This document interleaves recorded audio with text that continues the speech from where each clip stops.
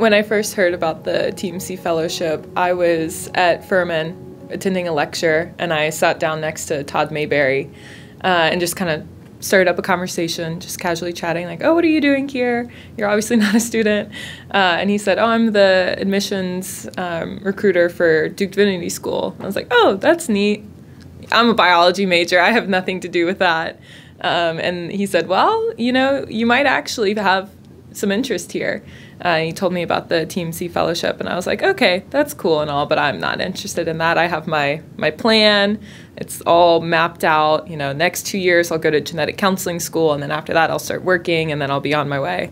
Um, but as I started to learn throughout my senior year more and more about the TMC fellowship, the more I realized I can't not do this. This is something that's necessary for my formation, and I don't think that I can go on and be the best genetic counselor I can be without doing this first.